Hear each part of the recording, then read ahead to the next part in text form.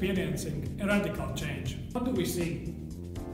More than 20 London law firms have announced plans to use artificial intelligence in their daily work.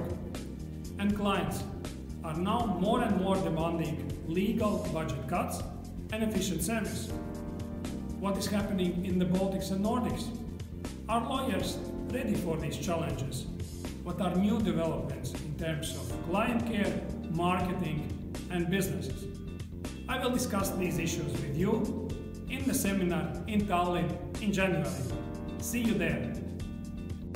I remember meeting Geert Rude for the first time when we engaged in a very, very heated discussion. And basically, the topic of the discussion was how do these lawyers who very fastly climb up their career path how do they get to those skills that are so needed for them further off as they become associates, as they become partners?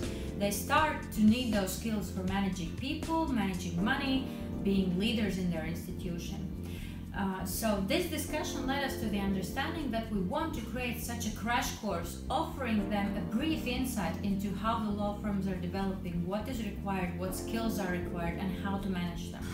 So this became the core concept behind the courses we have been carrying out together with Geertrude for the past two years.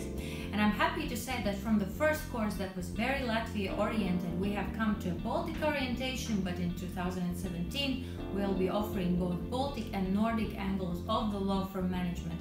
Come and join Geertrude for this course in January of 2017 in Tallinn, Estonia.